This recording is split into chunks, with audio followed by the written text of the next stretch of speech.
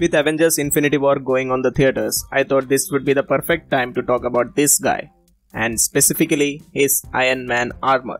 Well, if we happen to make this armor in real life, then what would be the best metal to put our beds really on? With that thought in mind, I am going to present to you the strongest metal that are currently available on earth, which we can think of making an armor out of it. And FYI, I am not going to include adamantium or vibranium in this list because these two are really really fake metals.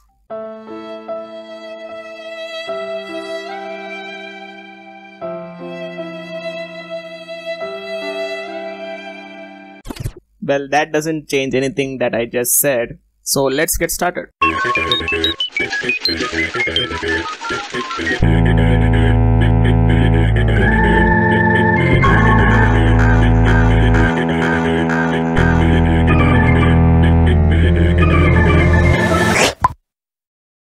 Hello cyber citizens, welcome to What the Science, the channel where we try to bring balance to this universe with a snap of science. The list I am going to present to you has some caveats to go with it.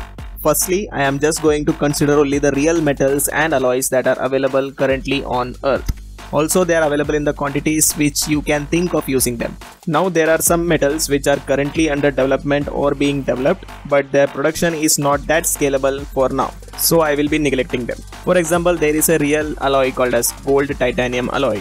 Well at least some things are not fake after all. This gold titanium alloy is 4 times stronger than most of the known steels but scalability of its production is questionable. Because even if you produce vibranium like strong metal in real life but only at the size of few nanometers, that's not going to help you create anything, forget about a full body armor. So that being said, let's see the probable list of candidates that can be used for making this armor. But before that, we need to understand that there are four different kinds of strength. The first one is compressive strength, the ability to withstand compression or how much resistance does the metal offers when it is squeezed. Tensile strength is how strongly a material resists tension or how much strength is required to tear the material apart. Yield strength measures how well a material resists deformation or how much strength is required to bend the material. And finally, impact strength, the ability to withstand sudden force or impact without breaking or shattering.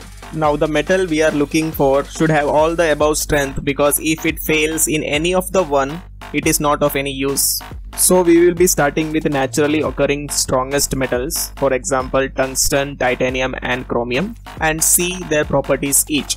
Tungsten has the highest tensile strength of any naturally occurring material but it is brittle so it has very less impact strength.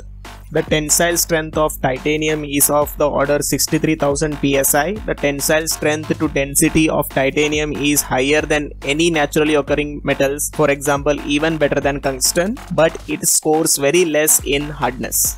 Finally, chromium is the hardest material around, but it is extremely brittle with very less yield strength and tensile strength.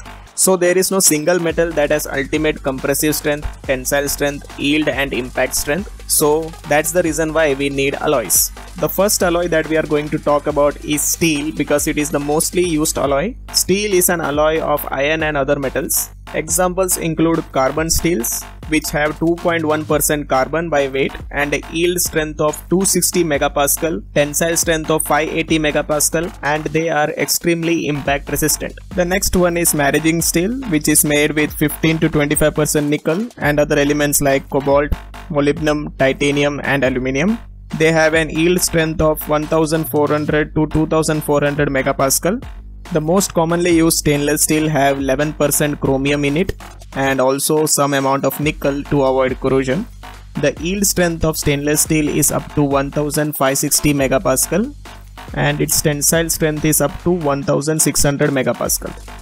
The next one is tool steels which are alloyed with cobalt and tungsten and has a very high tensile strength. The last alloy that we are going to talk about is Inconel. This is a super alloy of austenite, nickel and chromium. Which has a strength to withstand extreme conditions and high temperature. So those are the few recommendations. And if you think I have missed any element or metal that you think I should have been included in my list then you can comment below. And also if you haven't subscribed to our channel there is a good news for you. You can subscribe it right now for free. All you need to do is just follow this simple tutorial and you have to just hit the red subscribe button and the bell icon to the side of it. It is really that simple. And if you like this video you can hit the like button also also, you can check other playlists from my channel by clicking on the link above. And if you want to connect with us on other social media platforms, then you can click on the links provided in the description below.